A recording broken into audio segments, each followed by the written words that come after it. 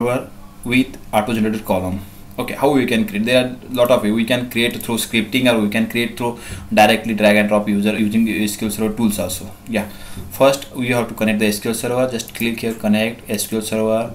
Uh, give your sql server username password. Yes server select first select sql server. Put your username password for the server then connect. Okay select any database which you want to create table under that okay here in table you can click right click right new table. Here you enter your column name like suppose id then its data type int. Its data type and it's up. Then it's here is option to create identity column.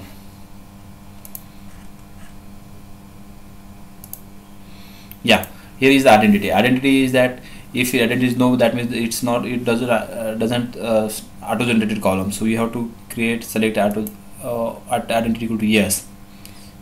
Sorry identity yes. Identity increment that means it is increased by increased by one by one. And identity seed is that is a starting point where from it start increase. So that is starting point one and increase by one one. So if you want to start from 1000 then you have put as 1000 then it will be increased by 1000 1000 2003 like this okay then another column like name then varchar varchar is a kind of data type. It contains strings.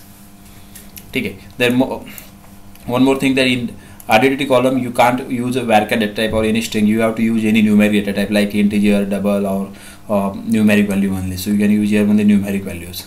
Then save test table this is the one way you can create a auto generated column in SQL database. Okay another one way you can create by scripting also. Write a script to create auto generated column in SQL Server table. Create table table name test TV ID yeah its column name then data type ID identity 1 comma 1 that is seed and increment. And then second column name like um, name varchar and the size of that field. 20 yeah. This is one more way you can use this. Increase the yeah you can use this uh, uh, identity increase the column uh, auto generated column in this table. Okay if you want to check this just put some data in this column insert into test table and value for name is Raj.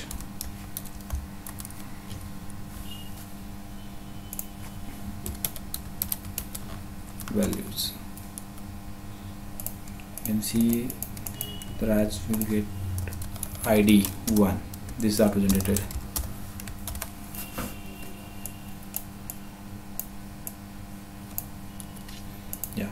you want to enter more column you can put more column.